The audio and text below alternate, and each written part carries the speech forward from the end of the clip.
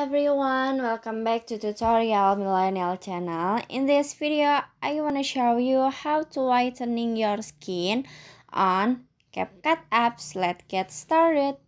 First, open your um, CapCut apps. And then in here, you can click on the new project and add the video that you want to edit. This one, click add at the bottom uh, now I will show you this is the original skin like this.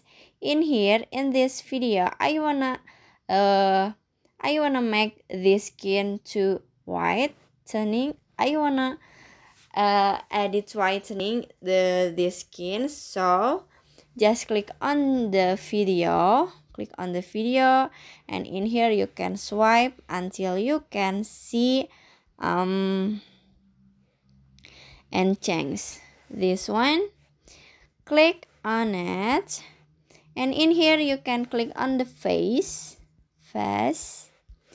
This one and swipe until you can see whitening. This one. You just click on it and then you can swipe this button like this. And you can see the skin this before after before after before after and after this you can click check icon at the bottom finish so that how to uh, whitening your skin on CapCut apps. I hope you found this video to be helpful. If you enjoy with the content, please consider like, comment, and subscribe down below. Happy editing guys. Bye-bye.